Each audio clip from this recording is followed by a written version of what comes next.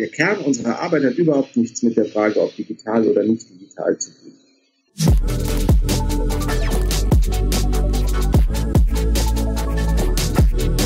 Digital Life Talk mit Jan Möllendorf. Hallo und herzlich willkommen zum Podcast Digital Life Talk. Mein Name ist Jan Möllendorf und in diesem Podcast möchte ich mit Menschen aus allen Ecken unserer Gesellschaft über die digitale Transformation sprechen. Wir sprechen dabei über die Chancen und Herausforderungen, die Sie in Ihrem Privatleben durch die digitale Transformation erleben, aber natürlich auch über Ihr ganz spezielles persönliches berufliches Umfeld und die Chancen und Herausforderungen, die Sie aus diesem beruflichen Umfeld heraus entdecken.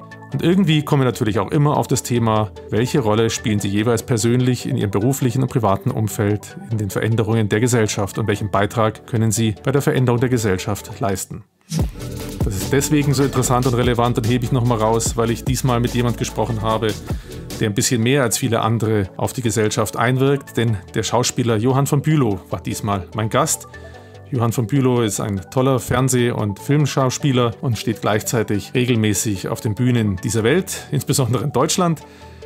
Mit Johann hatte ich ein ganz spezielles Corona-Podcast-Aufnahmeerlebnis, denn wir beide haben uns persönlich noch nie kennengelernt. Peter Quittmann, der Peter von der Post, wie er sich gerne manchmal scherzhaft nennt, war in dem Fall der freundliche und nette Vermittler von uns beiden und hat Johann und mich zusammengebracht.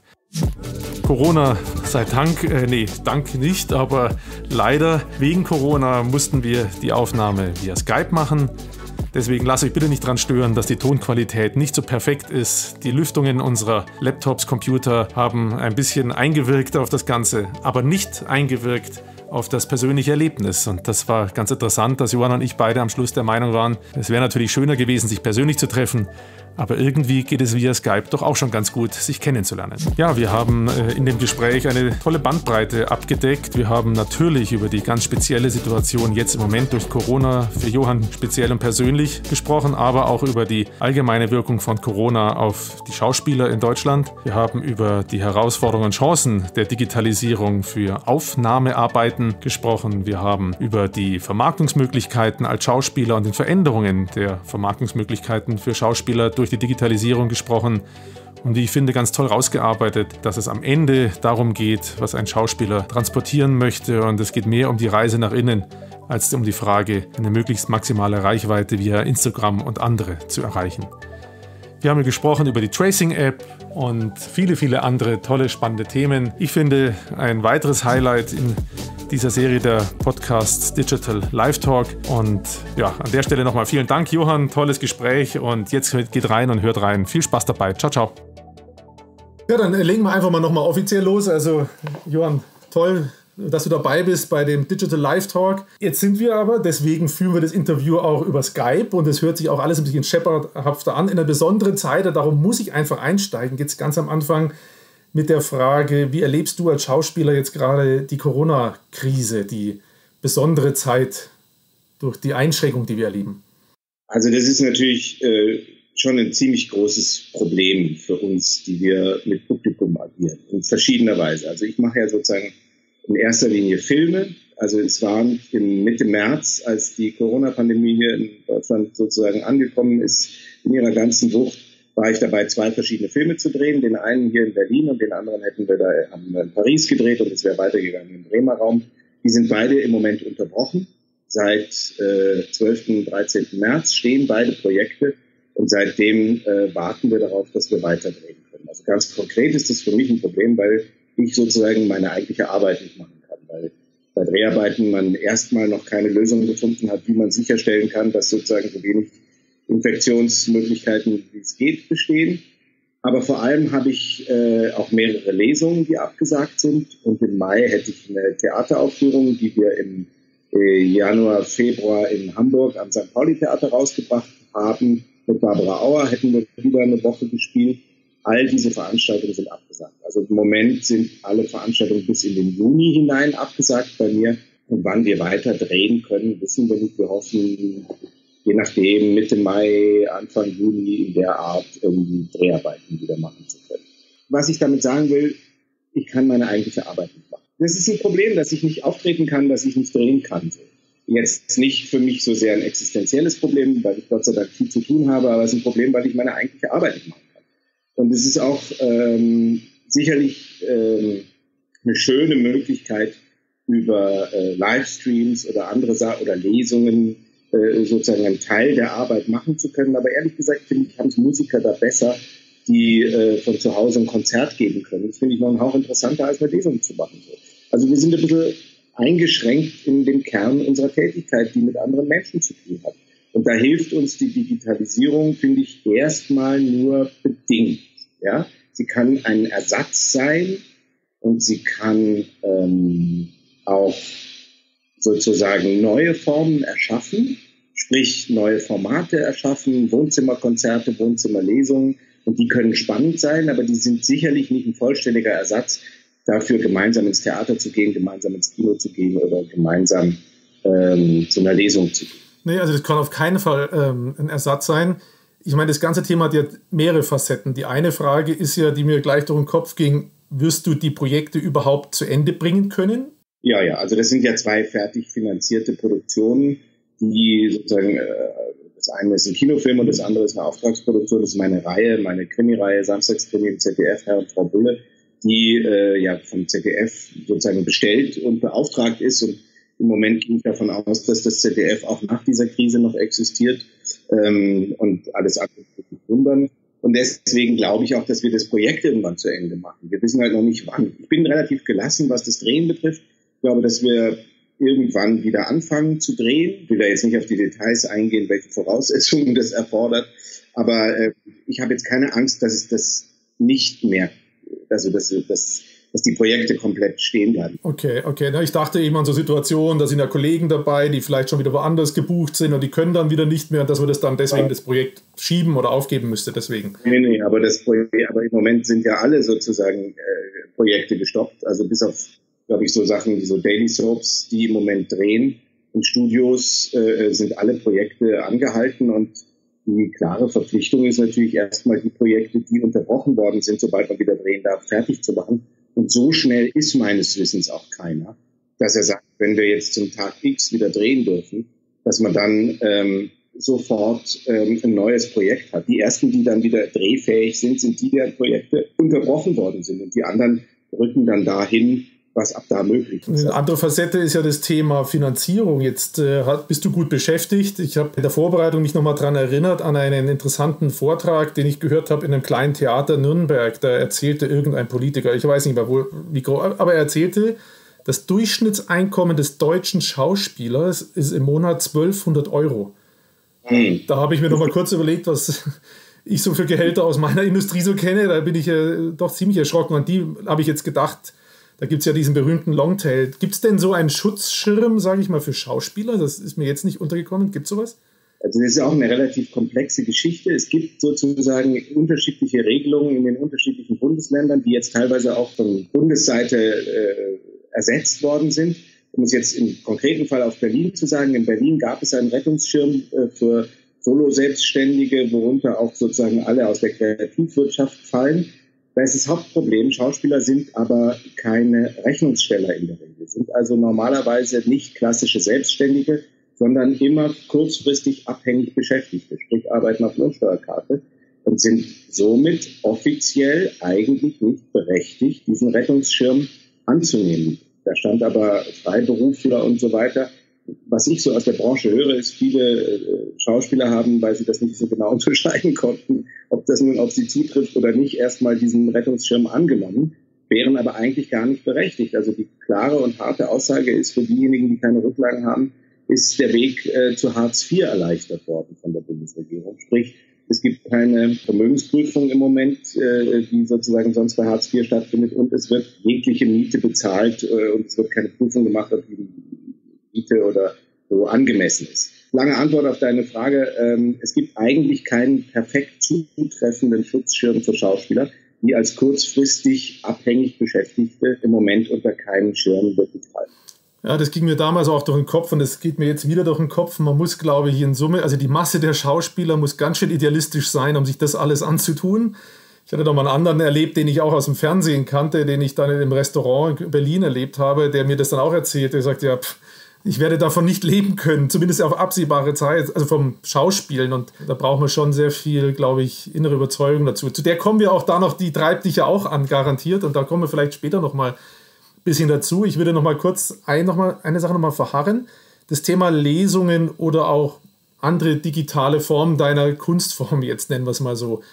Äh, um das nochmal einzustimmen. Ich habe jetzt leider noch keine Lesung irgendwo von jemand gehört. Da bin ich überhaupt gar nicht darauf gekommen, bin das zu suchen, auch nicht darauf gestoßen worden. Ich bin äh, Fan von Kunst äh, und es gibt in Berlin einen netten äh, Kunstgaleristen, einen Galeristen, der so ein Format über Instagram macht. Ich weiß nicht, ob du den kennst, den Johann König, Namensvetter, mhm. der. Äh, ich habe gerade einen Bericht darüber gesehen, über den. Ja. Und der ja da aus der Not heraus relativ spontan gleich am Anfang, gleich am ersten Tag, als er zumachen musste, diese Live, äh, Instagram Live-Show da gemacht hat. Und jeden Tag jetzt sogar zwei Episoden macht, einmal morgens, einmal mittags. Äh, inzwischen habe ich nicht mehr die Zeit, dem zu folgen. Was ich eigentlich sagen wollte, interessante Idee, äh, das, was er machen will, nämlich Kunst zu präsentieren, in das neue Medium reinzubringen. Hatte ich das jetzt in der Phase auch umgetrieben und sagt, nee, mache ich nicht oder doch, ja, mache ich oder ich bin da nicht der richtige Typ für? Also ehrlich gesagt, ich finde alles wunderbar, was Leute sozusagen, jeder soll das machen, wie er möchte und auf seine Fasson glücklich werden. Ich habe für mich noch nichts gefunden, bei dem ich denke, das ist so dringend notwendig, dass ich das jetzt mache. Also ehrlich, ich habe ehrlich gesagt eher manchmal das Gefühl, es gibt so viele Angebote, dass man sich fragt, wer soll das alles konsumieren? Und auch du sagst ja, du hast irgendwann nicht mehr die Zeit, ja.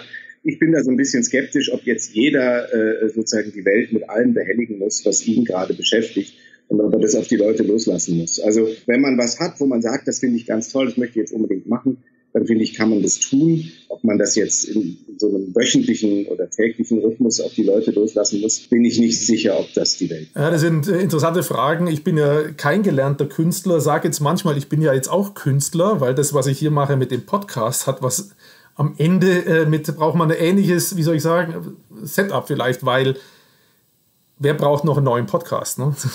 wer braucht noch was, irgendwas Neues? Und die Verbreitungswege sind unendlich. Genau. Und damit äh, kann sozusagen man nicht mehr unterscheiden, was ist denn jetzt relevant und was ist nicht relevant, weil sozusagen die Produktionsmittel befinden sich in jedermanns Hand. Und jeder Mann ist in der Lage, etwas über sich zu machen. Und das ist zum Beispiel ja auch was, was unsere Welt unabhängig von Corona unheimlich verändert hat. Also das durch das Digitale ist ja sozusagen das Herstellen von Film auf, in, auf eine Weise ähm, leichter und finanzierbarer geworden, wie das sich äh, die Hollywood-Studios in den 40er oder 50er Jahren, als man riesige, schwere Kameras in riesigen Studios bewegt hat und man noch nicht mal am Originalschauplatz gedreht hat, weil die Mikrofone nicht gut genug waren, um den Rauschfilter draufzusetzen, indem man sozusagen die Autos wegfiltert oder sowas, ja. Es kann, also wenn man, glaube ich, jemanden aus den 50er Jahren erklärt, dass es heute Handteller große Geräte gibt, mit denen man bessere Filme machen kann als im Studio 1955 in Hollywood, da würden die ja hinten überfallen. Was zum Beispiel die Digitalisierung unseren Beruf ungeheuer betrifft, ist sozusagen die ganze Arbeit am Set. Digitale Kameras, digitale Aufnahmemöglichkeiten, digitale Schnittmöglichkeiten sind eine unglaubliche Veränderung, die natürlich gleichzeitig eine Masse von Filmen mit sich gebracht haben. Also ich weiß nicht, wie viele es im Moment sind, aber ich glaube, es sind eher so um die 600 Filme, die alleine in Deutschland jedes Jahr im Kino starten. Im Zeitpunkt, als man analog auf teurem 35 Millimeter Material gedreht hat, war es gar nicht möglich, so viele Filme zu finanzieren. Das hat jetzt natürlich den großen Vorteil, dass viel mehr Angebot da ist, aber auch den großen Nachteil, dass es ungeheuer schwer ist, in diesem riesigen Angebot zu unterscheiden, was jetzt relevant ist und was man gerne sehen möchte und was nicht. Ja? Ja, wie kann man sich aus dieser Masse hervorheben? Ich muss noch kurz eine Frage loswerden, die ist vielleicht jetzt total bescheuert. Aber von deinem Jahrgang her müsstest du es doch noch kennen, dass du nicht sehen konntest, was du gerade gedreht hast oder was von dir gedreht wurde. Das heißt, man hat gesagt, jawohl, das war's das können wir nachher uns dann anschauen, wenn der Film entwickelt ist, oder? Du hast doch auf Film gedreht, oder? Ja, klar. Ich habe sozusagen in den 90er Jahren angefangen und hat man auf Film gedreht, noch, also für Fernsehen auf Super 16 und für Kino auf 35 mm Material. Aber natürlich gab es auch damals schon eine sogenannte Videoausspiegelung. Also das heißt, am Set gab es die Möglichkeit, über einen Bildschirm zu kontrollieren, was die Kamera aufnimmt. Zumindest in so einem Maß, dass das halbwegs dem entsprach, wie das nachher im Original ist. Das war natürlich bestimmt und auch nicht äh, color degraded, wie man das nennt, also die Farben noch nicht entsprechend entwickelt und so weiter. Ja, ja. Das hat die Möglichkeit, wenn man das wollte, auf dem Bildschirm eine Kontrolle des, des, des Gedrehten zu machen. Und das wurde auch aufgenommen und konnte man zurückspulen mit einer Videokassette. Ah, okay. Das alleine muss ja sowas äh, unglaublich verändert haben. Ne? Also wie, wenn man eben weiß, was im Kasten ist oder wenn man nicht genau weiß, was im Kasten ist. Das verändert ja, ja wahrscheinlich die Tätigkeit eines Schauspielers schon dramatisch. Also eines Schauspielers glaube ich nicht so sehr, weil tatsächlich ist es immer noch so, dass man eigentlich nicht sich hinter die Combo begibt. Und also Combo nennt man diesen Bereich, wo man äh, äh sozusagen um die Regie äh, den Bildschirm hat und sich versammeln, um das Aufgenommene anzusehen.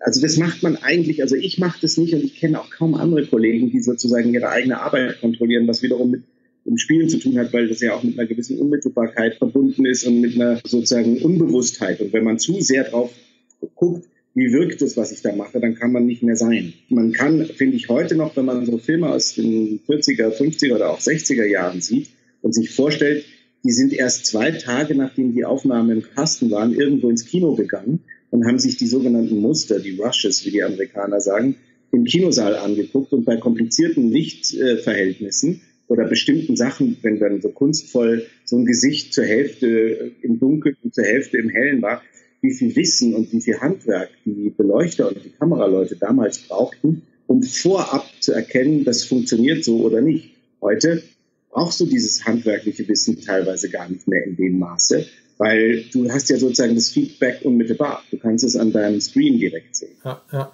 Also eine Kompensation von Fähigkeiten, Talenten durch Technik auf der einen Seite. Was mir dabei mhm. jetzt nochmal durch den Kopf ging, ist eigentlich auch ein interessantes Phänomen. Da hatten wir vorhin so am Rand, am Anfang, glaube ich, noch äh, schon von gesprochen. Dieses 80% nur perfekt gemachte hat ja offenbar irgendeinen Charme oder Manche Betrachter interessiert es gar nicht, weil sie sich auf das Wesentliche konzentrieren. Soll heißen, ähm, aus dem Ganzen heraus sind halt vielleicht auch Situationen entstanden, wo man sagt, nee, so perfekt muss man das jetzt auch gar nicht machen. Also wenn ich mir manche Podcasts oder manche YouTuber anschaue, das ist ja nicht perfekt. Aus irgendeinem mhm. Grund haben die aber einen Inhalt oder eine Persönlichkeit, die sie transportieren, dass die Leute fasziniert sind davon. Also heißt, jeder kann ja heute Schauspieler, Kameramann, Regisseur und alles in einem sein. Nimmst du das als Schauspieler auch wahr, dass man, also gibt es eine Veränderung im Qualitätsanspruch zum Beispiel? Äh, müssen Dinge schneller funktionieren oder können die schneller funktionieren? Also es ist zum Beispiel so, als ich anfing, noch in den 90er Jahren, hat man sozusagen im Schnitt 26 Drehtage von den normalen 90 Minuten im Fernsehen gehabt manchmal sogar 30 Drehtage, wenn so ein bisschen, wenn es historisch war, also man sozusagen mehr Aufwand betreiben musste, weil Straßen umdekoriert, Häuser etc. so das gemacht werden musste. Heute gibt es Filme, die also im krassesten Fall in 10 oder 12 Tagen gedreht werden, 90 Minuten. Also weniger als der Hälfte von einem sehr gut ausgestatteten Film damals. Die Bandbreite hat sich verändert. Also sagen wir mal so Billigproduktionen drehen in 15 Tagen. Wir haben das Glück zum Beispiel bei unserem Herrn Frau Bulle Format noch 23 Drehtage zu haben. Aber selbst äh, in den 23 Drehtagen werden natürlich viel mehr Einstellungen gedreht, ne? weil es technisch mit dem digitalen Material viel schneller möglich ist, umzubauen, nicht mehr so aufwendig geleuchtet werden muss und so weiter. Also wir haben einen höheren Druck. Das hat mit der Schnittfrequenz zu tun, wo es eine Erwartungshaltung gibt. Früher hat man eine, eine Schiene gebaut und eine lange Kameraeinstellung und daraus sozusagen ohne viel Schnitte das, was man brauchte, im entsprechenden Moment eingefangen mit der Kamera. Heute drehst du sogenannte Setups, also von einer Richtung mit einer bestimmten Objektivgröße. Teilweise, also bei einem Kinofilm habe ich schon Szenen gedreht, die drei Minuten dauerten und die haben wir in 26 Setups gedreht. Ja, dann hast du also einen ganzen Tag dafür verwendet. Und früher hat man dann dafür drei Tage gedreht, weil du mehr als 10, 12 Setups gar nicht hinbekommen hast. Deswegen musste ich gerade so parallel da schmunzeln. Da ging mir eine Szene durch den Kopf, die von vielen sehr kritisiert wurde. Der letzte Quentin Tarantino-Film. Mhm. Hast du ihn gesehen, äh, zufällig? Mit der ist ja sehr langsam. Für viele so mhm. langsam, dass ich gesagt habe, das halte ich nicht aus. Ich hab, mein bester Freund ist rausgegangen. Weil ich gesagt das war mir viel zu blöd. Die Leute sind es nicht mehr gewohnt. Die Frage, ob der Film also langsam ist, habe ich überhaupt nicht als Kategorie empfunden. Im Gegenteil. Also erstens ist es ja sowieso eine Referenz an ein bestimmtes Hollywood aus einer anderen Zeit. Und dann wird es natürlich auch die Schnittfrequenz und die Art, sozusagen Einstellungen zu drehen, eine Referenz an die Zeit. Oder ich habe gestern zum Beispiel mit meinem Sohn Joker geguckt und äh, er hat mir heute Morgen nochmal erzählt, der hat ihn schon im Kino gesehen und ich habe ihn noch nicht gesehen, haben wir gestern Abend geschaut und er hat gesagt, der Regisseur hat gesagt, sie wollten, dass der Film aussieht wie aus den 70er Jahren und das versucht ja Tarantino bei Once Upon a Time äh, in Hollywood auch. Also ich glaube, dass dann vielleicht das Sujet oder die, die Thematik sozusagen deinen Freund gelangweilt hat, aber Kommt darauf an, was für Filme der gerne mag. Natürlich, das kommt bei sicherlich zusammen, aber ich habe ihm auch darauf angesprochen, habe gesagt, du bist es halt nicht mehr gewohnt, dass es so lange Kameraeinstellungen gibt. Du bist halt gewohnt, dass andauernd irgendwie ein Schnitt ist und wieder was Neues. Darum ging es mir jetzt, äh, darum musste ich zumindest gerade äh, denken. Übrigens, äh, weil du den Joker erwähnst, den muss ich dann doch erwähnen. Du wirst es wahrscheinlich oft erleben, dass Leute, die dich kennenlernen, die nicht Schauspieler sind, dann sagen, ah, ich würde ja auch so gern mal schauspielen. Ich bin nicht so ein Typ, ich äh, könnte es nicht. Das Einzige, was ich wirklich gern probieren würde, wäre, Joker mal zu spielen. Weil ich das so unglaublich faszinierend finde, wie die gefühlt in so einer Art Trance-Zustand da abhauen. Geht es dir als Schauspieler auch so, dass du das bewundernd anschaust und sagst, wow? Oder sagst du, ich kenne doch das, ich weiß doch, wie das geht? Nee, aber, die, aber das, dazu, das, ich glaube, es gibt keinen, ich weiß doch, wie das geht. Dazu ist das ein viel zu individueller. Also das ist natürlich, natürlich gehorcht dieser Beruf bestimmten Gesetzen und ist auch ein Handwerk und eine, eine, einfach eine Frage der Erfahrung. Also ich habe zum Beispiel gestern beim Joker gedacht, als ich den Film gesehen habe, im Film kannst du Sachen machen, dass du einfach die ganze Zeit mit deinem Blick unten bist, während die Kamera auf dich ist und im entscheidenden Moment hebst du das Auge und guckst hin. Das hat natürlich dann in der Nahaufnahme eine ungeheure Wirkung, die du im Theater in der Weise nie erreichen kannst. Und wenn du das weißt im Film, dass du, wenn du die ganze Zeit runterguckst und an einer Stelle hoch, dann weißt du, das sitzt und hat, also das sind so Erfahrungswerte. Aber ansonsten die Frage, was du ähm, erzählst als Schauspieler und wie das, ich sitze natürlich da und bewundere die Arbeit von Kollegen grenzenlos. Das ist doch ganz normal, so wie man die Arbeit von fähigen anderen Leuten einfach neidlos anerkennen kann. Ich glaube sogar, dass Schauspieler insgesamt eine eher größere Tendenz haben, die Arbeit ihrer Kollegen, wenn sie wirklich gut ist, sehr wertzuschätzen. Gehen wir nochmal zurück zum Thema Digitalisierung und den Einfluss äh, auf dich, dein Job. Da gibt es ja noch das Thema, ich nenne es jetzt mal Vermarktung für dich mhm. als Schauspieler. Das hat sich ja doch dadurch auch dramatisch aus meiner Sicht verändert. Früher, ich sage jetzt mal, war es ja anders. Du hast einen, jemand gehabt, wahrscheinlich, der dich vermittelt hat. Und heute, theoretisch, kannst du dich theoretisch ganz alleine vermitteln. Ist das so? Also was die Arbeitsaufträge, die Frage sozusagen, ob du engagiert wirst oder nicht, betrifft, ist es schon so, dass es nach wie, nach wie vor ein professionelles Netzwerk von Agenten und Castern, also denjenigen, die sozusagen die Besetzungsvorschläge für Filme machen, äh, gibt, wo ich sagen würde, das spielt natürlich eine immer größere Rolle. Stichwort Anzahl der Instagram-Follower bestimmt sozusagen Popularität und entscheidet darüber, wer die Rolle bekommt. Das spielt sicherlich eine Rolle, ist aber nicht alleine ausschlaggebend und ist zum Beispiel jetzt in der Generation der jetzt zwischen 20 und 30-Jährigen sicherlich nochmal ein anderer Aspekt, wo einfach eine größere Anzahl derer, die, die sich für die interessieren, in den sozialen Medien unterwegs ist und somit die Frage der, der, der Follower auf Instagram oder was das sein, Facebook oder in Zukunft TikTok oder was auch immer die jeweiligen Formate sind, betrifft. Was aber ein wesentlicher Unterschied ist zu früher, wenn du, ich sag's mal ganz einfach, wenn du 1980 im ZDF am Freitag um 20.15 Uhr gelaufen bist, dann bist du am Samstag den Supermarkt gegangen und jeder hat gesagt, sie habe ich gestern im Fernsehen gesehen. Weil es gab nur einen Ort, an dem Unterhaltung stattfand. ARD, ZDF oder das dritte Programm. Punkt. Ja? Schon mit dem Aufkommen der Privatsender ist das ein bisschen aufgesplittet worden. Und es gab auch nur eine Handvoll Kinofilme, die jede Woche neu ins Kino kamen. Ja? Das heißt, wer einmal drin war im System, wer einmal in dem Bereich, wo man wahrgenommen wurde, zentral vorgekommen ist, der war gesetzt und der war bekannt. Und es gab sozusagen eine Möglichkeit, über Nacht berühmt zu werden. Heute in einem unendlich aufgesplitteten Markt, du hast vorhin das Thema YouTuber angesprochen oder sowas, hat sich die Wahrnehmung völlig zerfranst. Wer ist eigentlich bekannt? Es gibt Leute, die sind in Mikrozentren äh, ungeheure Stars, von denen haben aber du oder ich noch nie gehört. Und andere sagen, kennst du den nicht? Das ist so und so, der hat dieses oder jedes Format. Ja? Also aufgeteilt in die kleinsten Altersformate. Ja? Also neun- und elfjährige folgen anderen als 17-Jährige. Und 17-Jährige, die sich für dieses Thema interessieren, folgen wieder anderen als 17-Jährige, die sich für jenes Thema interessieren. Was ich damit sagen will, es ist ungeheuer schwer wahrgenommen zu werden. Ja? Und das nehme ich sozusagen schon, also die Anstrengung bemerkt zu werden, erfordern ein, viel großflächigeres sich aufstellen.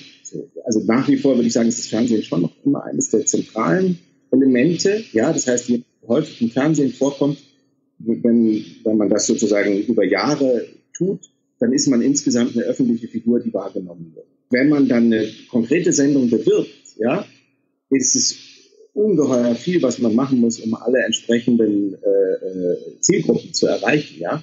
Und da kommt dann auch Print wieder ins Spiel und so, ja. Also gerade wenn man eine ältere Zielgruppe im, im öffentlich-rechtlichen Fernsehen erreichen möchte, machst du einfach immer noch, viel Printgeschichten, ja, viel mehr Instagram. Weil, ich sage es jetzt mal etwas krass, der Instagram sozusagen nutzende 19-Jährige, der kommt eh nicht drauf, am Samstagabend um 20.15 Uhr das ZDF einzuschalten. Absolut, ne? also das war faszinierend. Wir haben jetzt in der Corona-Zeit mal wieder lineares TV mit unseren Kindern geschaut. Faszinierend, wie die damit umgehen, ja? wie die das wahrnehmen und wie sie relativ schnell versuchen, da wegzugehen. Also in der Tat, äh, also Zersplitterung der Zielgruppen und die Schwierigkeit, diese Aufmerksamkeit sich, für sich zu erzielen. Das ist, sagen wir, nehme ich jetzt mal zusammenfassend so mit. Da kam jetzt so eine Frage, macht das eigentlich ein Schauspieler in seiner Ausbildung oder gibt es das Teil der Ausbildung, dass die darauf vorbereitet werden, sich selbst zu vermarkten? Weil das war ja früher einfacher vielleicht, weil man hatte halt, man wusste, wo man sich vorstellen kann. Gibt es wahrscheinlich nicht, oder? Das ist also ob das, ich glaube nicht, übrigens, das ist ein Missverständnis. Ich glaube nicht, dass das früher einfacher war. Weil das war ja früher noch viel schwerer, dann einen dieser wenigen Plätze, also um am Freitag um 20.15 Uhr zu laufen, war ja auch noch eine ganze Menge nötig. Den, der durch die Membran durchgestochen ist und irgendwann mal drin war, der war dann aber auch relativ sicher sofort jedermann bekannt.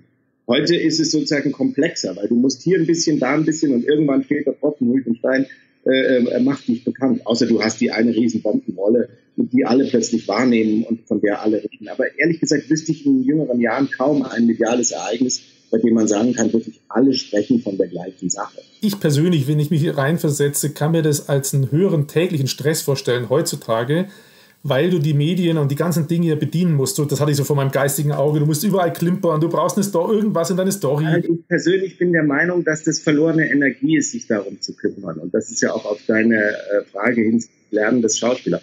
Wenn du mehr dir Gedanken über die Frage der Vermarktung machst und wenn du versuchst, unbedingt auf Instagram Follower um jeden Preis zu generieren, glaube ich, verlierst du viel von der Energie, die du brauchst, um ein guter Schauspieler zu sein. Und da bin ich dann doch sehr altmodisch. Ich glaube, am Ende setzen sich die durch, denen man gerne zuguckt. Und die, denen man gerne zuguckt, sind häufig die, die ihre Arbeit gut machen. Und dann, finde ich, sollte man seine Energie drauf lenken, äh, seine Arbeit gut zu machen und zu sehen, wie man an der Stelle schrauben kann und besser werden kann. Ich würde jemandem immer sagen, geh lieber zu einem Coach und arbeite an deiner Rolle, als dass du sozusagen hier einen Instagram-Berater suchst oder irgendwie dir Follower in China kaufst oder sowas. Das finde ich alles äh, lenkt vom Eigentlichen ab. Die perfekte Überleitung zu dem anderen großen Block, nämlich die Wahrnehmung von dir selber in deiner Rolle als Schauspieler innerhalb der Gesellschaft. Ähm, ich muss noch mal kurz dazu vorher einhaken. Gestern Abend war im ARD Kölner Treff, da war dein Kollege Lohmeier, der wurde gefragt, ja, Sie sind doch angesprochen worden, ob Sie nicht Traumschiff-Kapitän werden wollen. Er hat sehr cool mhm. geantwortet, weil er genau so das gesagt hat. Man muss, man muss sich als Schauspiel überlegen, was will ich machen und was will ich darstellen, was will ich senden. Und es mhm. gibt Dinge, die mache ich lieber, als irgendwie so in der Art hat das formuliert. Er hat wohl, glaube ich, geantwortet auf die Frage von dem Produzenten oder wer immer ihn da gefragt hat. Wir können da ja in 20 Jahren nochmal drüber sprechen. also auf jeden Fall dieses Thema Überzeugung, mit der man seinen Job macht äh, als Schauspieler, auf das wollte ich jetzt noch mal ein bisschen zu sprechen kommen. Vielleicht noch mal eine Herleitung, warum ich, äh, mich, mir das auch durch den Kopf geht. Ich selber bin Digitalisierungseuphoriker. Ich nehme mal wahr, wie unsere Gesellschaft im Stress ist. Und ich suche immer nach Wegen, wie kann man der Gesellschaft helfen, den Stress abzubauen. Ich als Euphoriker bin da nicht unbedingt der Richtige, weil ich sowieso für alles bin, was da kommt. Und mhm. manchmal, und darum hatte ich ja auch einen Künstler auch schon mal eingeladen, glaube ich, dass Künstler, und ich würde auch Schauspieler als Künstler einordnen, so Art Übermittler oder Vermittler oder Katalysatoren oder irgendeine Rolle einnehmen können in der Gesellschaft, wo sie den Schmerz aufnehmen, widerspiegeln, sowas in der Art. Interpretiere ich da jetzt viel rein oder sagst du, ja, ja, doch, so ein bisschen ist da von mir in mir auch, wenn ich meinen Job mache, dass ich mich so wahrnehme in der Gesellschaft, man könnte ja als Gegenbeispiel sagen, nee, ich mache einen Job, ich, gehe, ich sehe mich im Fernsehen, dann ist mein Job abgehakt und der Rest ist mir wurscht. Dafür ist es schon zu sehr ein Beruf der Leidenschaft erfordert und dazu gibt es ja eben auch zu unterschiedliche Aspekte, die jetzt mein Arbeitsleben betreffen. Also das Theater ist ja der analogste Ort, den man sich vorstellen kann. Außer dass da inzwischen auch äh, die, die Lichttechnik mit dem Computer funktioniert, aber ansonsten Das eigentliche, was auf der Bühne stattfindet, ist pures, echtes, analoges Leben. Und eine Lesung in einem Raum mit Leuten live drin ist genauso und mit Musikern zusammen, was ich teilweise gemacht habe, und Orchestern arbeiten genauso. Und wir sind die Inhaltstransporteure. Ja, egal in welchem Umfeld. Ob das jetzt in einem Film, auf einer Bühne, in einem Hörspiel oder in einem Hörbuch ist. Der Kern unserer Arbeit hat überhaupt nichts mit der Frage, ob digital oder nicht digital zu tun. Und deswegen glaube ich auch, dass es eine Anmaßung wäre zu sagen, wir helfen den Leuten irgendwo rüber über die Schwierigkeiten. Keine Ahnung, wenn es ein Sujet gibt, was sich spielerisch umsetzen lässt, kann es durchaus sein, dass man das äh, ähm, darin verwendet. Die Erfahrung ist allerdings sowohl im Film als auch im Theater das Digitale glaubhaft abzubilden, ja, in irgendwelchen Übersetzungen. Also es gibt ja diesen Who Am I-Film von Baran Booda, wo es um, um so das Darknet geht. Da haben die das nicht ganz gut hingekriegt. Die haben das wie so eine U-Bahn, die sozusagen wie in so ein schwarzes Loch fährt und dann sind da plötzlich, also um, um das irgendwie filmisch zu versinnbildlichen. Das ist einer der wenigen gelungenen Elemente, wo ich das kenne. Aber ansonsten ist das Digitale ähnlich undarstellbar im Dramatischen wie der Sport. Deswegen gibt es keinen guten Film, also Spielfilm, über Fußball oder über äh, Basketball über, oder über andere Sportarten. Weil Sport ist ein echtes Live-Ereignis, seine eigene Dramatik, ja, aber diese Dramatik innerhalb eines Films wird immer lahm, so, oder fast immer. Also ein, nicht eines Dokumentarfilms, sondern eines Spielfilms. Und so ist es ja auch mit dem Digitalen, finde ich. Das sind Prozesse, die unser Leben ausmachen, aber das, was Spielen betrifft, ist größer, also ist, wie ich finde, auch Gott sei Dank größer als das Digitale. Ich bin jetzt kein Experte, ich äh, suche die ganze Zeit gerade schon nach einem äh, Namen vom Theaterstück, das mich sehr beeindruckt hat und komme nicht drauf. Und das ging es darum, dass die Entscheidung offen war, äh, ob schuldig oder nicht schuldig, in der Fall, wo ein Jet auf ein Fußballstadion zufliegt. Das Stück heißt Terror und ist von Ferdinand von Schirach. Äh, shame on me, dass ich das nicht so gut weiß, aber es hat mich trotzdem sehr, sehr, sehr, sehr, also ich würde echt sagen, eine mit am meisten von allen Theaterstücken beeindruckt oder nachhaltig beschäftigt. Dazu muss man sagen, ich war, wir waren äh, zwei Ehepaare, das andere Ehepaar, meine Frau und ich und äh, Freunde, sie Richterin, er ähm, Anwalt in einem Unternehmen. Mhm. Und das, ich weiß nicht, wie weit du das kennst, geht, da ging es ja darum, man geht raus und man durfte durch die eine Tür rein, wenn man schuldig und durch die andere Tür rein, wenn man für nicht schuldig war. Vielleicht sollte man es noch ein bisschen präziser für die, die es nicht kennen. Es geht um die Frage, ein Pilot der Bundeswehr ist angeklagt, eine Maschine mit 300 Passagieren an Bord abgeschossen zu haben, weil an Bord dieser Maschine sich Terroristen befanden, die gedroht haben, die Maschine auf ein vollbesetztes Stadion mit 50.000 Menschen drin drauf fallen zu lassen. Es geht um die Frage, ist es sozusagen vermeintlich oder möglicherweise 50.000 äh, zu retten? Und das wird in einem Prozess verhandelt. Ist der Inhalt des Stücks. Ja, super, toll. Genau, das war eigentlich notwendig. Das stört mich eigentlich auch immer, wenn Leute sich über was unterhalten, was ich eigentlich gar nicht kenne und dann so schon gleich in so ein Expertengespräch gehen. Und dann schließt das Publikum ab, das wolltest du sagen, und soll sagen, ist der Pilot schuldig oder unschuldig? Und dieses Ehepaar, die Juristen, sind durch verschiedene Türen wieder reingegangen. Also nicht durch die gleiche Tür. Also selbst die Juristen waren sich nicht einig. Und ich hatte danach ein Gespräch äh, mit dem Intendanten, der sagte, das steht und fällt mit den Schauspielern was nachher mhm. passiert. Natürlich auch ein bisschen mit dem Publikum, äh, Publikum jung und alt und so. Aber er sagt, ich kann vorhersagen, wenn die Besetzung äh, oder wenn ich die Besetzung sehe, sage ich, wie es ausgeht. Sympathischer Pilot wird immer freigesprochen. Ja, oder auch strenge oder klare Staatsanwältin beeinflusst auch ähm, äh, das Entscheidungsverhalten. Und damit wird er dem Schauspieler eine gewisse Macht in die Hand gegeben oder eine sendungsfähige Möglichkeit. Und er kann was transportieren. Das war das, worauf ich dann, äh, wo ich dann so hinterher war. Erstmal hat mich das wirklich sehr beschäftigt, weil der beste Beleg ist, es gibt kein Recht äh, oder keine Gerechtigkeit, weil Gerichts, Gerichtsentscheide gehen ja auch mal so, mal so aus. Um bei unserem Thema zu bleiben, ich kann das jetzt nicht konstruieren oder braucht es bestimmt ein Drehbuch zu, aber man könnte sowas ja auch zum Thema Stress der Gesellschaft durch Digitalisierung äh, zuspitzen. Man könnte es jetzt zum Beispiel, das wäre ja auch eine zentrale Frage, die ich mal nochmal mitgebracht hatte, zuspitzen auf unsere jetzige Situation. Da kommen die Dinge ja auf ganz interessante Weise zusammen, nämlich diese App, von der jetzt jeder spricht, mhm. ob die nun kommen soll oder nicht. Mhm. Es ist unglaublich, was für Diskussionen ich da am Telefon leider nur äh, entwickeln kann mit Freunden, Kollegen. Das ist ja auch eine Angst, die sich da artikuliert, wenn Leute sagen, auf keinen Fall. Oder genau mhm. das Gegenteil. Ich bin, mhm. kannst du sich vorstellen, ich sage ja, es gibt für mich überhaupt keine Diskussion. Das Ding muss her. Ähm, das wäre ein Fall, über den man sich später mal Gedanken machen kann und den man vielleicht im Theaterstück inszenieren könnte.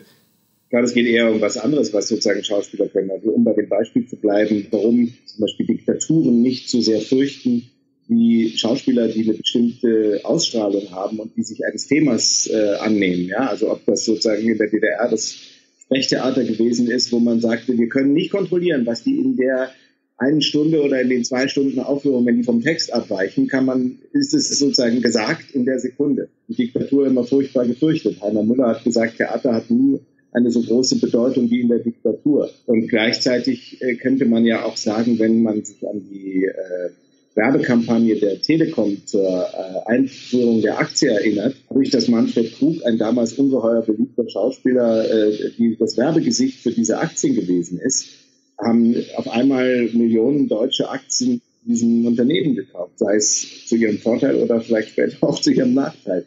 Sprich, hättest du jetzt sozusagen eine positive Image-Kampagne mit den beliebtesten deutschen äh, öffentlichen Figuren, seien es Schauspieler, vielleicht auch von mir ein paar Sportler, die für diese App werben würden, könntest du natürlich damit die öffentliche Meinung extrem beeinflussen. Also du hast es ja im Prinzip schon vorher gesagt, das wollte ich also ein bisschen nochmal rausarbeiten. Erlebst du das als Schauspieler, dass du diese Macht ja hast? Lebst du als Schauspieler mit diesem Bewusstsein? Du überlegst dir jetzt nicht jeden Tag, wie kann ich der Gesellschaft etwas senden wahrscheinlich, aber wenn du ein Stück probst oder was ler auswendig lernst oder wenn du dich auf einen Film vorbereitest, dann ist es doch sicherlich Teil dessen, wo du dir überlegst, wie du die Rolle interpretierst, dass du weißt, ich möchte irgendwas senden. Oder? Also ich finde es schwierig. Also es ist eher vielleicht sozusagen was das, was Peter Lohmeier betrifft, was du vorhin erzählt hast aus der äh, Kölner Treffsendung gestern. So wie ich das verstehe, wollte er sagen, wenn ich jetzt sozusagen das Signal an die Welt sende, ich bin der Raumschiffkapitän, dann setze ich auf ein Pferd, was eigentlich so an der Zukunftsgestaltung mitwirkt. Ja? Das ist zumindest meine Interpretation von dem Satz, ohne die Sendung gesehen zu haben. Das ist aber eine Entscheidung, die du triffst, indem du sagst, dieses Thema wähle ich lieber nicht, dafür wähle ich stattdessen jenes Thema. Aber so weit zu gehen, dass ich ähm, jetzt all mein Handeln und mein Spielen danach ausrichte, was ich an die Gesellschaft sende im Spiel, ich glaube, das ist auch eine Selbstüberschätzung. So, es gibt ja auch ganz viel unbewusst transportiert wird oder dass die Leute auch unbewusst wahrnehmen. Die Frage. Sind wir eingefroren? Da kommt er. Wir waren bei der Frage, was wir Schauspieler sozusagen da tun können. Ne? Also um vermitteln. Und du hattest noch das Statement gesagt, äh, man darf es auch nicht überhöhen. Ja? Ich glaube, wenn man versucht, sozusagen sich mehr Gedanken darüber zu machen, was man gerne senden möchte, äh, man muss da schon unterscheiden. Wir sind keine genuinen Künstler. Wir sind schon, und das meine ich gar nicht blöd, Second-Hand-Künstler. Wir kommen immer erst dazu, wenn die anderen was aufgeschrieben haben. Wir sind nur ein Interpret, ja. Und wir haben, das meine ich gar nicht, um sich künstlich klein zu machen, sondern wir sind diejenigen, die dann das Gesicht zu den Figuren, zu den Charakteren werden. Ohne uns geht's nicht, aber wir sind nicht das entscheidende Ganze, sondern wir sind der wichtige Teil, der notwendig ist, um die Sache zu transportieren. Aber um die Sache zu transportieren, muss man nicht unbedingt der Erfinder der Sache sein. Und da muss man, glaube ich, auch gut unterscheiden können, was man sozusagen beeinflussen kann und was man nicht beeinflussen kann. Und ich persönlich glaube, dass die Frage, welche Rollen man spielt und welche man nicht spielt, eine viel größere Einflussnahme ist, sofern man überhaupt in der Lage ist, da auszuwählen, was man spielt und was man nicht spielt, die macht viel mehr aus. Und wenn man nicht in der Lage ist, was auszuwählen, was man spielt und was man nicht spielt, glaube ich, das weiß ich auch aus eigener Erfahrung, ist es oft sehr wichtig, sich Gedanken zu machen, was für ein Mensch man sein möchte und wer man nicht sein möchte, weil das vermittelt sich irgendwann auf jeden Fall. Und die Frage, was man ausstrahlt, auf die hat man Einfluss, wenn man aufmerksam genug mit sich selber umgeht. Und das betrifft ja auch sozusagen Menschen, die nicht Schauspieler sind. Ja, ja, deswegen habe ich jetzt sehr stark in mich reingehorcht, weil sowas hat ja jeder. Das erlebe ich ja als Unternehmer genauso. Ich habe ja genauso als Unternehmer Entscheidungen zu treffen, wo es auch nachher um Werte und irgendwelche Dinge geht. Und es gibt ja, das wissen wir alle, keine perfekte Entscheidung. Und irgendwann fragst du dich so ähnlich wie du, was will ich für Mensch sein? Wohinter stehe ich? Was bin ich? Ne? Kann ich das jetzt vertreten? die und die Entscheidung zu treffen, die leider zur Folge hat, dass die und die Dinge eintreten werden, was immer das dann sein wird. Meistens äh, sind die negativen Entscheidungen damit verbunden, dass man sich von Mitarbeitern vielleicht trennen muss und dass da, äh, dahinter sind ja immer Schicksale und äh, man endet dann tatsächlich damit, dass man sagt, wohinter kann ich stehen, hinter welcher Handlung kann ich stehen und was bringt mich in eine Balance. Ja, da wird es jetzt sehr psychologisch, aber am Ende ist es genau die Frage, wie oft hat man junge Menschen, die vor einem sitzen und sich überlegen, ähnlich wie du Schauspieler hast, habe ich eben junge Unternehmer, Start-up oder aufstrebende Führungskräfte, die ja ähnliche Fragen stellen. Äh, was muss ich machen, um das und jenes zu erreichen? Dann komme ich auch so oft und sage, hör an dich rein. Was mhm. befriedigt dich? Wo glaubst du, dass du Spaß dran hast? Und ich erzähle dann immer meine Geschichte. Da waren wir Studenten, wir hatten am Vordiplom Zeit und wir saßen in meinem Zimmer rum zu viert und haben uns überlegt, was machen wir mit der Zeit, die wir jetzt haben? Und wir gründeten eine Studenteninitiative, hatten eine Idee, wie das sein soll. Und das Ding war einfach ein brachialer Erfolg. Ja. Wir waren natürlich auch so ein paar Partyjungs, wir hatten dann viele Leute um uns. Und ich sage dann immer, ich wollte, ich will immer wieder dieses schöne Gefühl haben. Mit Menschen, mir überlegen, was mache ich? Und dann sehen, dass anderen Menschen meine Idee gefallen hat. Was ich mega fand, war dieser Satz, den hast du bestimmt schon oft gesagt, ich habe ihn noch nie so gehört, dass ihr nur Second-Hand-Künstler seid als Schauspieler. Ah, das klingt ja erstmal wie ein negativer Begriff. Ja, ja, ja. Aber das ist auch wiederum unsere eigene Qualität. Wir sind ja eben diejenigen, die den Text interessant rüberbringen. Und das äh, haben ihn aber nicht unbedingt geschrieben. Ja. Äh, ich sag mal, ich habe jetzt ja kein gutes Wort dafür, aber es gehört beide zusammen. Äh, das gehört die Story, es gehören die Dialoge, es gehört aber jemand, also ich meine, diesen Joker, das kannst du 100 Schauspieler spielen lassen und es kommt immer ja. anders raus. Und ob das immer dann auf die Menschen, die Zuschauer, den Effekt hat, wie der eine, der, äh, der nachher Oscar oder was dafür bekommt, das ist dann die Frage. Mit Sicherheit nicht. Also ich finde ja, es gibt ja auch zu dieser von dir anfangs gestellten Frage, jeder möchte eigentlich gerne mal Schauspieler sein. Ich finde, sie gibt mir immer eine ganz einfache Überlegung. Also ganz selten macht man das mal, dass man am Ende eines Films sich hinstellt und sagt, wir drehen jetzt eine Einstellung und äh, alle Rollen werden getauscht. Also der Kameramann macht Maske, Regie macht das Licht, der Beleuchter spielt die männliche Hauptrolle und äh, die Set-Assistentin spielt die weibliche Hauptrolle. Und dann dreht man zum Spaß eine Einstellung. Ja, natürlich sind manche Gewerke in dem Moment nicht so gefragt und andere schon. Aber was man meistens sehr gut daran erkennen kann, ist, Spielen ist schon auch eine eigene Fähigkeit wenn du eine relativ einfache Spielsituation von jemand x-beliebigen, der nicht Schauspieler ist, erfüllen lassen wirst, dann gibt es sicherlich den besonderen Fall, dass jemand einen besonderen Zugang hat und eine große Begabung und man sagt, hey, der kann das aber auch toll. Aber der Normalfall ist eigentlich, dass man sagt, es ist eben doch ein eigener Beruf, für den es eine eigene Fähigkeit äh, braucht. Die Schauspielerei ist schon eine eigene, das ist ein Handwerk und gleichzeitig ein Begabungsberuf. Wobei meine Schauspiellehrerin immer gesagt hat, das sind 5% Begabung und 95% Handwerk. Aber ohne die 5% Begabung, würde ich sagen, funktioniert es dann halt auch. Ah, ist wahrscheinlich bei jedem unterschiedlich, diese Verteilung. Das ist, äh, gilt wahrscheinlich überall. Wir steuern aus meiner Sicht, das hatte der Habeck so interessant bei irgendeiner Diskussion gesagt. Äh, er hat gesagt, am Anfang die Entscheidung des Lockdowns waren alles ganz einfach operative Fragen. Das war überhaupt kein Problem. Die eigentlichen Probleme werden wir jetzt bekommen mit den ethischen Fragen, die wir ab jetzt beantworten müssen.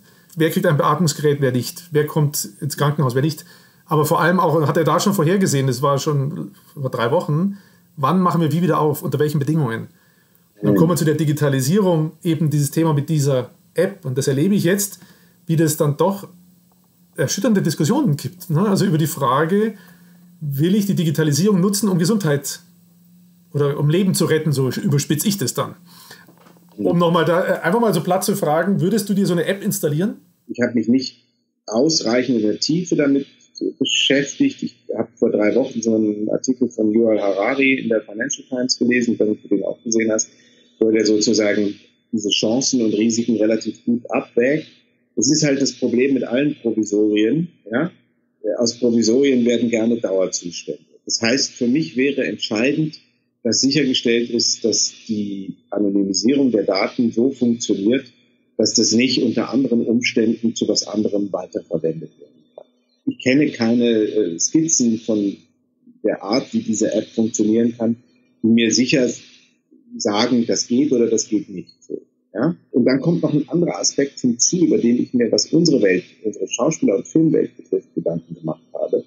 Nur um es ganz kurz zu skizzieren. Das, das Wesen der App ist ja, dass man einfach ganz schnell erkennen kann, wer hat's und mit wem war der in Kontakt und alle, die mit dem, wie heißt es in Amerika, six seconds, six feet, ja, wer so kurz in der Nähe von jemandem stand, was ist, wenn der hinter einer Glasscheibe war, mit dem du six feet entfernt gewesen bist? Das kann die App nicht erkennen. ich bin so ein bisschen skeptisch, ob die Hoffnungen, die wir darauf haben, dass das alle Probleme löst, sich in der Weise erfüllen, wie das für uns gut ist. Was nicht heißt, dass man den Versuch nicht unternehmen sollte. Aber meiner Meinung nach gibt es ganz viele Spezialfälle, in denen das uns nicht wirklich weiterhilft. Und was unsere Individualauftritts- und Spielberufe betrifft, an einem Set kannst du sagen, den Beleuchter, den ersetzen wir morgen, weil das merkt keiner während des Drehs des Films. was ist, wenn ich drehe? Ich habe 23 Drehtage hier. Ich drehe fünf Tage und dann kommt auf meinem Handy die Nachricht, du bist gestern auf dem Nachhauseweg an jemanden six feet, six seconds vorbeigegangen, geh bitte in Quarantäne zur Sicherheit. Wenn ich dann nicht innerhalb von einer wirklich sehr kurzen Zeit sicher getestet werden kann, um zu sagen, ja, der hat's nicht, der kann weiterdrehen, wer will mich denn dann versichern? So ein Film kostet ein ungeheures Vermögen an Geld. Und wenn es dann heißt, der Bülow geht jetzt 14 Tage in Quarantäne, oder jemand anderes, der nicht ersetzbar ist am Set, dann sagt doch kein Produzent, dass er unter den Umständen einen Film dreht, wenn er jedes Mal damit rechnen muss, wie so ein Damoklesschwert, dass ihm die unersetzbaren Leute im Betrieb von einem Tag auf den anderen aus dem Betrieb genommen werden und er auf den Kosten für die 40 Teammitglieder, die weiter bezahlt werden, sitzt. Oder der Veranstalter von einem Konzert, wenn der Geiger plötzlich nicht auftreten kann oder sowas. Das ist sicher jetzt kein zentrales Thema, aber ein Randaspekt unserer Welt, bei der ich mir manchmal sage, ob uns das wirklich rettet. Ja, es rettet, äh, rettet, uns sicherlich nicht so von heute auf morgen. Die Beispiele, die du genannt hattest, die könnten meiner Ansicht nach natürlich auch ohne App genauso auftreten, in, den, in einer anderen Form, so wie es bis am Anfang ja lief, dass das Gesundheitsamt gesagt hat, wen haben sie alles getroffen, potenziell, und die müssen jetzt alle in Quarantäne gehen. Es ging ja unheimlich viele Leute am Anfang gleich in die Quarantäne, obwohl sie dann nachher auch nie positiv waren, weil sie halt irgendwo in einem Raum mit irgendjemand waren. Aber du hattest ja weiter vorne noch, äh, glaube ich, schon die zentralen Dinge angesprochen. Also ähm, vielleicht ähnlich wie du es vorhin zusammengefasst hast, muss man vielleicht noch zwei Apps, äh, zwei Dinge zu der App noch dazu sagen. Ähm, erstmal hat man noch nie, wir in Deutschland zumindest noch nie so eine gehabt. Äh, zweitens, sie soll ja auf ähm, ähm Indizien basieren, Symptomen basieren. Das heißt, sobald du Symptome hast, sollst du das da eintragen, was schon an sich schwierig ist. Sind die Symptome überhaupt irgendwo zuortbar? Sind das wirklich äh, Corona-Symptome? Das andere soll ja über Bluetooth funktionieren und Bluetooth ist sehr kompliziert. Äh, Im ersten Moment ist es einfach, wir können alle unsere AirPods mit betreiben, aber die Stärke variiert ja sehr stark. Du hast ein schönes Beispiel genannt mit einer Scheibe, dadurch wird es gestört. Also technisch noch nicht sicher, wie es funktioniert. Ich nehme da halt immer die Extremposition ein und sage, wenn es mich äh, also im Moment nehme ich so wahr, dass ich unglaublich in meinen Freiheitsrechten eingeschränkt worden bin. Ich kann niemand treffen. Das ist für mich viel, viel, viel schlimmer als der Gedanke, was vielleicht mit meinen Daten vielleicht von irgendjemand irgendwann mal irgendwo gemacht werden könnte, die an sich sowas von uninteressant sind, meine Daten, sodass ich in der Abwägung für mich sage, dann lieber so eine rudimentäre App. Ne? Aber die Frage, ob man persönlich sozusagen sagt, das, was du sagst, zielt ja jetzt auf das alte Argument, ich habe nichts zu verbergen. Ja, also ähm, und das ist Argument, wenn es darum geht, Freiheitsrechte zu verteidigen. Es muss schon notwendig sein, dass jeder für sich entscheiden kann, ob er teilen möchte, was auch immer geteilt wird oder nicht. Und sobald ich das abschaffe, mit der Argumentation ist doch eh uninteressant, interessiert sich doch eh keiner dafür, zwinge ich denjenigen, der aus seinen Gründen sagt, ich möchte das aber nicht teilen, in eine Position, in der die folgende Frage wäre, wieso hast du was zu verbergen? Hm. Verstehst du? Ja, ja, ja, also absolut. Super Argumentation. Ja, ja, ja, ja, Auf diese Weise, weil es einen Druck ausübt, dann hat ja niemand was zu verbergen, weil ja alles gute Menschen sind oder so. Ich bin sehr skeptisch gegenüber Standort-Apps. Ich benutze auch digitale Geräte. Ich bin mir im Klaren darüber, dass wenn jemand Böses will, er genügend Mittel finden wird, mich so anzuzapfen, dass er alles über mich erfahren kann. Ja, ich schütze mich so, wie man das als normaler, erwachsener, technisch vierter Mensch tun kann. Aber deswegen bin ich nicht uneinnehmbar, darüber bin ich mir im Klaren. Ich würde wahrscheinlich im Zweifel einer solchen App zustimmen, aber ich bin skeptisch, ob sie die Erlösung für uns bringt, die wir uns davon versprechen. Ich glaube, dass das Problem komplexer ist. Also dahinter verbirgt sich doch die Hoffnung zu sagen, wenn wir nur sicher genug klarstellen können, wer infiziert ist und wer nicht und wer möglicherweise infiziert ist, können wir weitestgehend zur Normalität zurückkehren. Ich fürchte, zur Normalität können wir nur dann zurückkehren, wenn wir wissen, wie hoch die Letalität ist und wenn wir wissen, ob wir eine Behandlungsmöglichkeit haben, um diejenigen, die in Gefahr sind, zu retten. Was man ja einfach spürt. Für mich persönlich, äh, ich nehme halt andere Ängste wahr. Ja? Darum äh, ist es jetzt genauso eine spannende Diskussion, wie ich finde, die man einfach, wofür ich den Podcast auch mache, einfach mal, und wir haben keinen richtigen Falsch. Ich kann auch nicht sagen, was richtig und falsch ist. Ich persönlich habe eine unheimlich niedrige Hemmschwelle mit meinen persönlichen Daten. Der folgt vielleicht der Argumentation, die du gesagt hast, ich habe sowieso nichts zu verbergen. Und jetzt in der Situation habe ich noch viel mehr diese Einschränkung, die ich wahrnehme in meiner Freiheit. Ja, ich bin halt ein unglaublich freiheitslebender Mensch. Und dass ich nicht Leute treffen kann, das macht mich jetzt irgendwann irre. Dass ich nicht in der Firma bin, mit Leuten reden kann. Und ganz stark, ich lese ja meinen Kindern. Das ist ja noch schlimmer. Eine Neunjährige, die verarbeitet das so schwer. Aber das ist jetzt Jan Möllendorf in seiner Wahrnehmung. Deswegen äh, äh, ist mir auch wichtig, ich verstehe natürlich völlig Menschen. Du hast jetzt eine sehr differenzierte Haltung. Es gibt Menschen, die haben eine gar nicht differenzierte Haltung, die sind strikt gegen ähm, jede Form von Datennutzung für, die, die sagen, dann muss es halt durchgeseucht werden, dann müssen wir halt die Alten wegsperren, wo ich dann sage, das ist jetzt ja auch keine Lösung. Ja? Also das ist ja auch eine Diskriminierung von Leuten nach bestimmten Kriterien. Das sind ja nicht nur die Alten, sondern sind ja auch die Herzkranken, die Diabetiker und wenn die Hälfte der Bevölkerung unter Bluthochdruck leidet, um nochmal aus dem Bereich, in dem wir uns nicht auskennen, was zu sagen, dann ist die Hälfte der Bevölkerung gefährdet. Ich glaube nur, um das noch zu sagen, weil das ja sozusagen der Kern deiner Thematik ist, diese, diese Krise, diese Corona-Krise ist natürlich ein unfassbarer Katalysator für Veränderungen. Ja? Also auf einmal sind Dinge möglich, die nicht möglich erschienen sind, auch nur in abstraktester Form. Und diese Veränderung, und das ist, glaube ich, auch das, was uns alle im Moment noch äh, umtreibt, ist, wir können noch nicht erkennen, wie die Welt danach wieder aussieht. Wir wissen nur, dass sie nicht genauso aussieht, wie sie bisher war.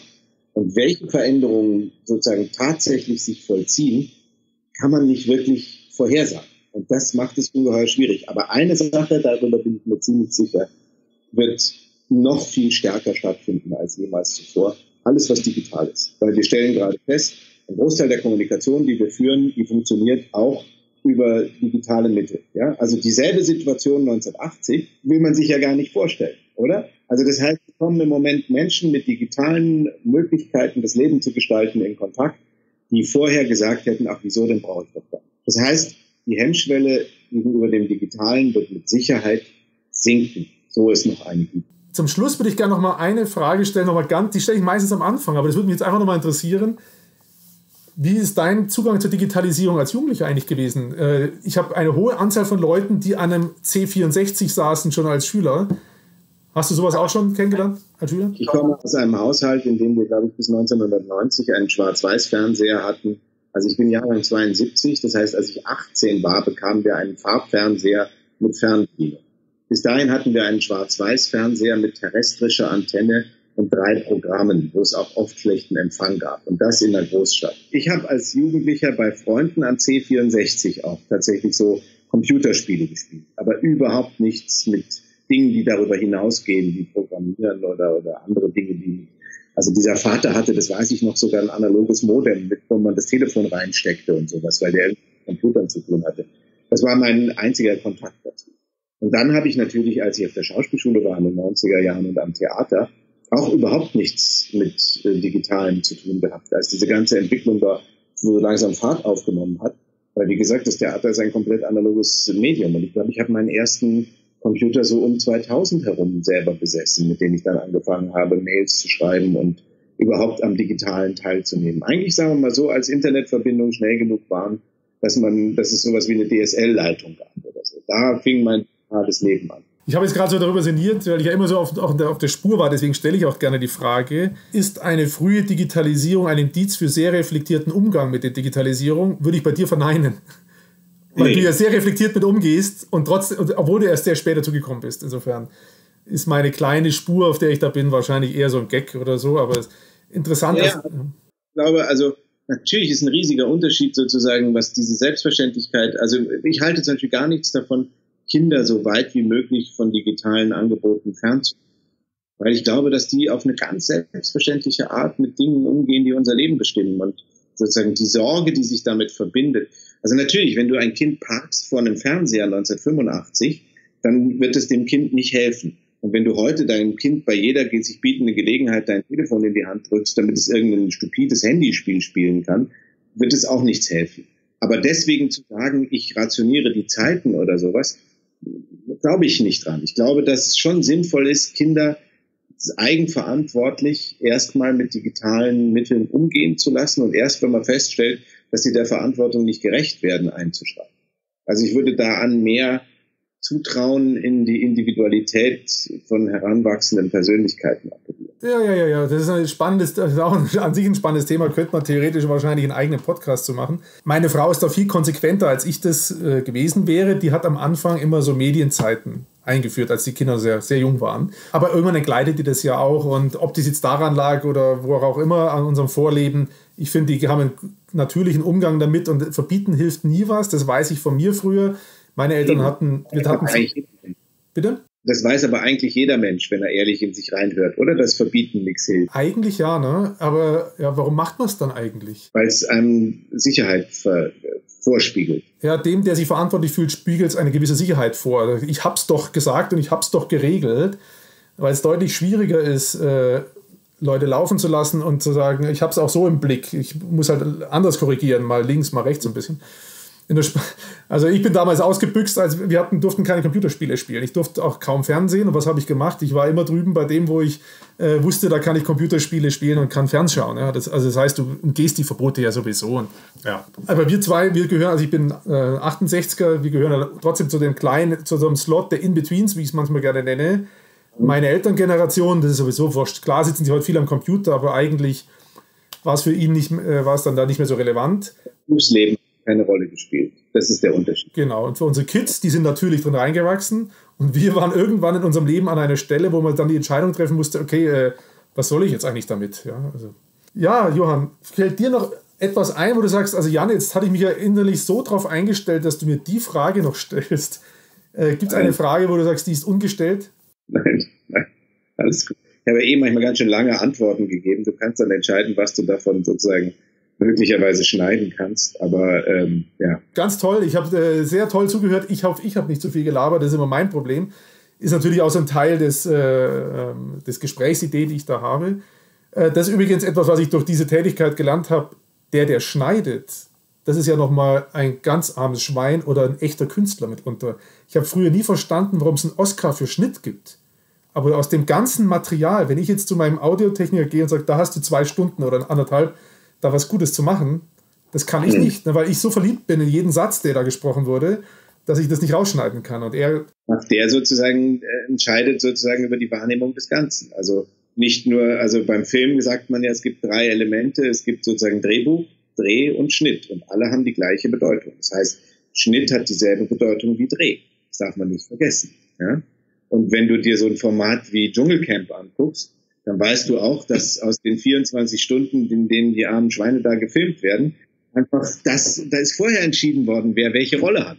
Und dann wird einfach nur der Satz genommen, der zur Rolle passt. Und die Sätze, die 80, die der gesagt hat, die den als liebenswerten und charmanten Menschen erscheinen lassen, die werden halt einfach konsequent nicht gesendet, weil der ist jetzt leider der Buhmann der Sendung. So. Und äh, das muss man immer wissen. Du kannst also auch aus dem Gespräch zwischen uns entscheiden, wie du mich erscheinen lassen möchtest. Also im besten Licht, weil es war wirklich eine angenehme Runde und äh, ich bin dem Peter und der Nina nochmal sehr dankbar. Nina unbekannterweise, Peter werde ich nachher auch gleich nochmal eine E-Mail schreiben. Und ich würde mich sehr freuen, wenn wir uns mindestens nochmal auf ein Bierchen in Berlin treffen. Ähm, dass wir das hier, diese komische äh, digitale Situation auch mal analog leben. Ja, aber ehrlich gesagt, ich finde das, vielleicht weil wir daran jetzt so gewöhnt sind, aber ich finde das gar nicht so problematisch. Ja, also ich finde, das fühlt sich, natürlich ist es anders, aber es fühlt sich jetzt nicht so an, dass man denkt, ja, komisch eigentlich. Also auch wir, die wir uns persönlich gar nicht kennen, können ein vernünftiges Gespräch über das führen und haben das Gefühl zu wissen, was mit dem anderen halbwegs los ist. Also ich finde, es funktioniert überraschend gut. Das ist ein weiterer Beleg dafür, dass die Digitalisierung gerade einen ungeheuren Durchbruch. Absolut. Ne? Also das, äh, absolut. Ich habe so viel drüber nachgedacht, ob wir das machen sollen ne? am Wochenende in Ostern. Und gesagt, oh, ich kenne ihn gar nicht. Mit, morgen habe ich jemanden, da mache ich es dann auch über Skype. Den kenne ich halt sehr gut aus der Branche ein. Das ist da was anderes. Aber geht es ähnlich? Also ich würde sagen, ich habe die Persönlichkeit Johann von Bülow erlebt und kann sie greifen und nicht irgendwie nur einen Film da gesehen. Und äh, das, ja, das ist toll, tolle Erkenntnis.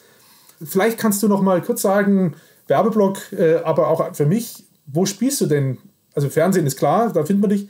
Aber wirst du Theater spielen demnächst? Demnächst ist tatsächlich eine spannende Frage, weil wir fürchten ja, dass diejenigen, die am spätesten wieder aufmachen werden, werden die Theater sein und dann irgendwann vielleicht noch nach uns die Clubs. im Moment war geplant, dass wir Ende Mai am St. Pauli Theater ein Stück spielen, was ich mit Barbara Auer dort im Januar, Februar auch schon sehr erfolgreich gespielt habe. Das heißt Heiligabend von dem wunderbaren Autor Daniel Kehlmann, den viele kennen, weil er die Vermessung der Welt geschrieben hat. Und das ist sein zweites oder drittes Theaterstück, ein Zwei-Personen-Stück. Mai, das ist, ich glaube, im 9. und 10. Dezember ist ein Gastspiel in Luxemburg geplant. Da bin ich recht optimistisch, dass wir das hinkriegen. Aber es gibt auch Leute, die sagen, jetzt da seien sie skeptisch. Aber dann gibt es, glaube ich, keine Theater mehr, wenn wir selbst im Dezember noch nicht mal spielen können. Vielleicht werden die Leute dann immer einen Platz Abstand halten oder sowas. Bis dahin. Das gibt es ja vielleicht auch als Lösung. Das wird garantiert kommen, dass man mehr Abstand halten muss bei dem Ganzen. Das wäre meine These. Ich habe ja neulich jemand gehört, der gesagt hat, Großveranstaltungen jeder Art wird es in 2020 nicht mehr geben. Theateraufführung mit 500 Leuten schon als Großveranstaltung geben. Ja, ne? das wissen wir nicht. Aber ich werde auf jeden Fall irgendwann versuchen, zum St. Pauli-Theater vielleicht mal zu kommen. Das würde mich jetzt einfach mal interessieren, dass ich dich da auch nochmal live genau. auf der Bühne dann sehe. Und für die, die sozusagen jetzt zeitnah ähm, sozusagen zu dem zu unserem Gespräch das sehen, am 16. Mai läuft der dritte Teil Herr und Frau Bulle im ZDF. 16. Mai, samstags, 20.15 Uhr, Herr und Frau Bulle für die, die noch analog Fernsehen in einem digitalen Podcast. Oder natürlich vorher oder hinterher in der Mediathek. Und an alle, da ist jetzt ein Anschauzwang und die müssen mir Feedback an podcast.defacto.de dazu schicken und dann werden wir mal testen, wer es alles angeschaut hat. Na, Quatsch, nee, auf jeden Fall, das äh, werde ich mir auch anschauen mit der Familie. Hat mich jetzt sehr gefreut und ähm, ja, wann immer du Gedanken oder Ideen hast, mail sie mir auch nochmal rüber. Ansonsten drücke ich dir jetzt erstmal ganz fett dir und deiner Familie die Daumen dass alles gut wird, äh, gesund bleiben und äh, dass es bald wieder losgeht mit dem, mit dem Theaterspielen. Genau. Danke, Jan. Alles Gute. Alles Gute, ne? Ciao, ciao. Tschüss. Ciao. Ja, das war's schon wieder. Das war die aktuelle Ausgabe des Podcasts Digital Live Talk mit Johann von Bülow. An Johann nochmal vielen Dank. Ich hoffe, er hat euch genauso inspiriert wie mich. Und Feedback gerne an podcast.defacto.de. Ja, bis zum nächsten Mal. Bis dann. Bleibt gesund und ciao, ciao.